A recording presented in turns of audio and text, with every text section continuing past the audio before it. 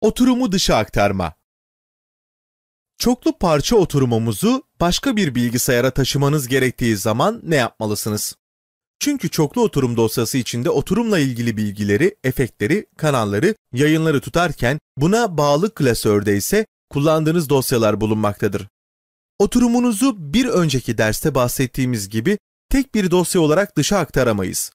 Dosya menüsünden dışa aktara gidelim. Çoklu parça karışımından tüm oturumu seçelim.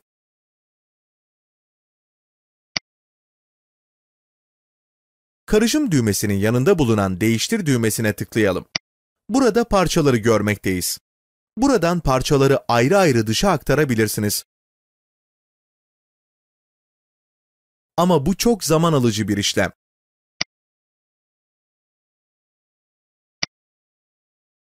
Oturumu kolayca dışarı aktarmak için dosya menüsünden dışa aktarı seçelim.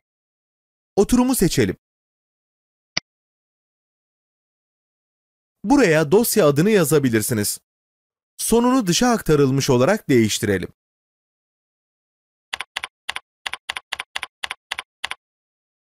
Kaydedeceğimiz konumu seçelim. Müzik klasörünü seçelim.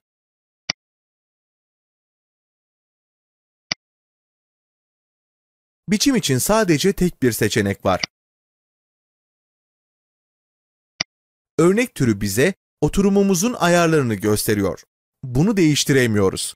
Meta verilerle işaretçileri korumak için bunu işaretli bırakalım. İlişkili dosyaların kopyalarını kaydeti seçersek, burada ayarlar düğmesini görmekteyiz. Buradan ilişkili dosyaları başka biçimlere dönüştürebilirsiniz. Şu an bunu yapmayacağız. İptale basalım. Kaydettikten sonra oturumu aç seçeneğini işaretsiz olarak bırakalım. Çünkü bu dosyayı elle göstereceğiz. Tamam'a basalım. Birkaç saniye sonra müzik klasörüne bakalım.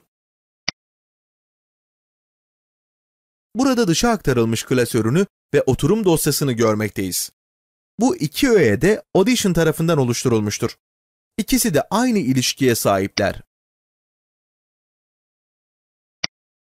Bunları yeni bir klasöre taşıyalım.